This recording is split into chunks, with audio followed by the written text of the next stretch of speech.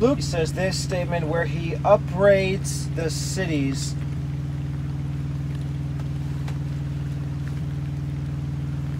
as it says earlier in Matthew 11, verse 20 through 24.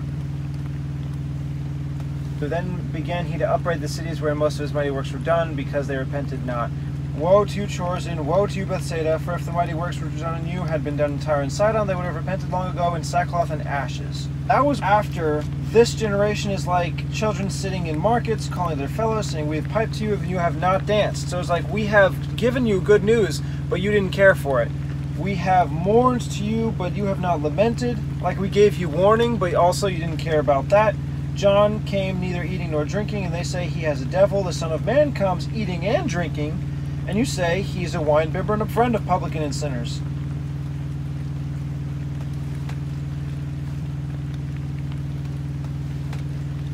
Then he upbraids Chorazin and Bethsaida.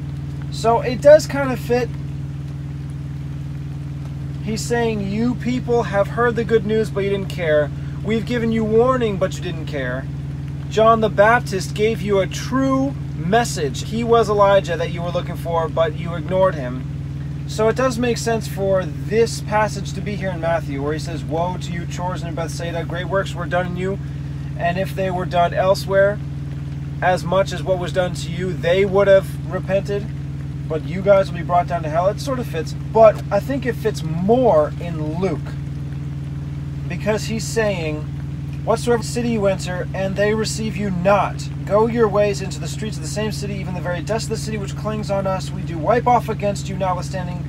Be you sure of this, that the kingdom of God is come near to you. And I say to you, it will be more tolerable for Sodom than for that city. Now it goes into woe to you, Chorazin, woe to you, Bethsaida. So it is directly linking Sodom and Chorazin and Bethsaida, right? That link is actually in this speech in Matthew 11. It says, For if the mighty works which have been done in you had been done in Sodom, it would have remained to this day. But that's at the end of the speech.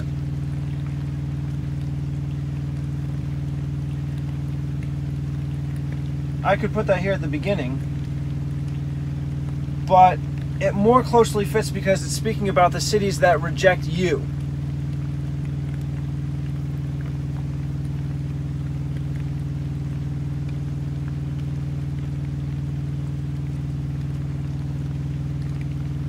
Also, Luke, up until now, I haven't really run into any situation where Luke moves events around. So if it's just a question between Matthew, whether Matthew has moved a speech around, or Luke, I'm going to go with Luke because Matthew definitely moves speeches around to make them fit according to message.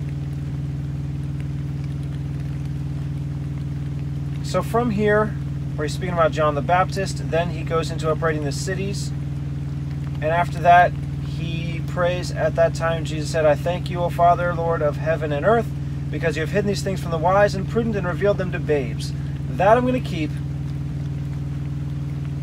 And that really does fit after what he says in Matthew, because he says, The Son of Man came eating and drinking, and they say, Behold, a man gluttonous and a winebibber, a friend of publicans and sinners. So this is the Pharisees who are rejecting him. But the sinners are the ones who are receiving him. So it makes total sense for him to say, I thank you, God, for you have hidden these things from the wise, the proud, is what he's really saying, and revealing them to those who are more simple or humble. But all this, where it says, Then he began to upbraid the cities wherein most of his mighty works were done because they repented not, all of that until Matthew 11 24, I'm going to move down to where I'm at in Luke, and I will combine them together.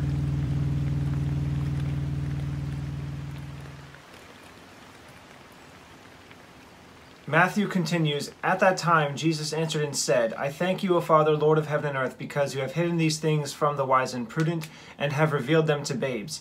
Even so, Father, for it seemed good in your sight. All things are delivered to me of my Father, and no man knows the Son but the Father, save the Son, and he to whomsoever the Son will reveal him. Come to me, all you that labor and are heavy laden, and I will give you rest. Take my yoke upon you, and learn of me, for I am meek and lowly of heart, and you shall find rest to your soul. for my yoke is easy and my burden is light. I left this as it was, just from Matthew. But I didn't realize that there is a mirror passage in Luke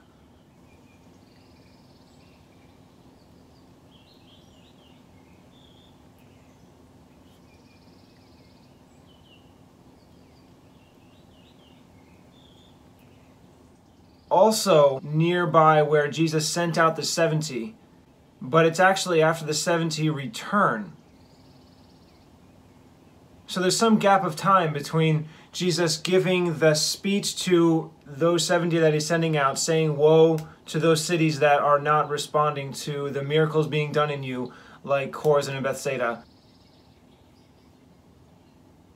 They all leave, then they come back. They report of their success in spiritual warfare, Jesus commends them and then says in Luke, I thank you, O Father, Lord of heaven and earth, that you have hidden these things from the wise and prudent, and have revealed them to babes. Even so, Father, for so it seemed good in your sight. All things are delivered to me of my Father, and no man knows who the Son is but the Father, and who the Father is but the Son, and he to whom the Son will reveal him that passage sounds almost exactly the same. It doesn't have the last verse from Matthew, which says, Come to me, all you that labor and are heavy laden, and I will give you rest. But still, I would originally just combine them because they're so similar. The problem, however, is that both of these passages from Matthew and Luke have this statement at the beginning. At that time, Jesus answered and said. Luke has it, in that hour, Jesus rejoiced in his spirit and said.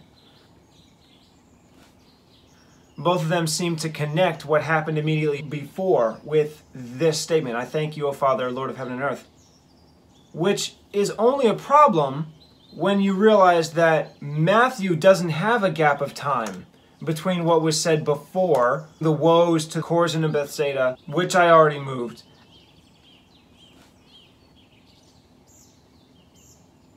and this.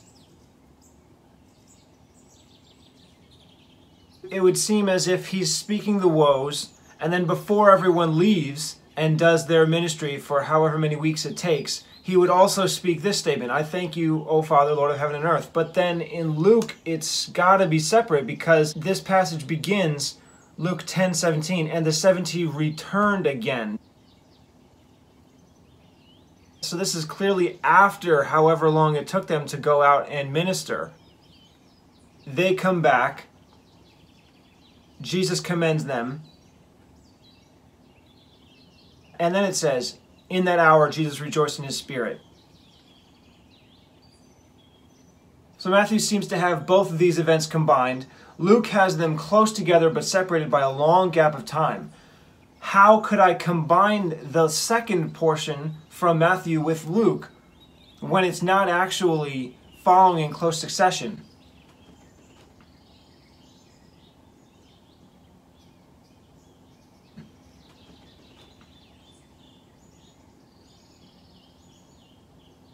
I also looked up other gospel harmonies to see how they solve this issue. I have access to like 10 right now, and the majority do combine the woes Jesus spoke to Chorazin and Bethsaida. Some of them also combine these last statements from Matthew and Luke. I thank you, O Father, Lord of heaven and earth, hidden them from the wise and prudent, revealed them to babes.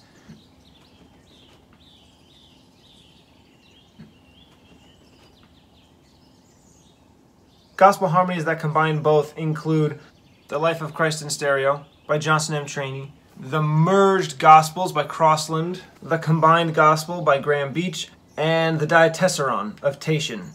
Combines both. And all of them move that second statement from Matthew over to Luke, just like I had moved the woes to Chorazin Bethsaida to Luke.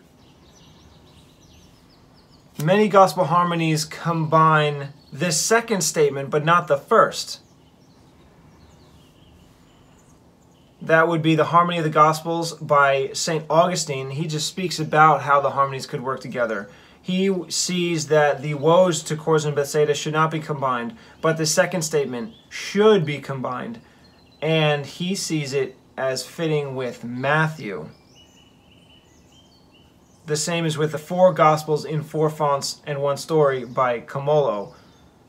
Not to combine woes to Chorazin and Bethsaida, but to combine this second passage with Matthew. There are a lot of gospel harmonies that do not combine either of these passages. That would be The Word by James H. Jenkins, a composite or composite gospel by Dr. Michael Brown of CreationScienceProphecy.com, Gospel in Life by A.T. Robertson, All About Jesus by Roger Kai, The Chronological Gospel by Michael Rood, The Fourfold Gospel by McGarvey, and The Gospel in Harmony by Lovercheck. These are the ones I have access to right now. There are plenty more, but I didn't go through them all.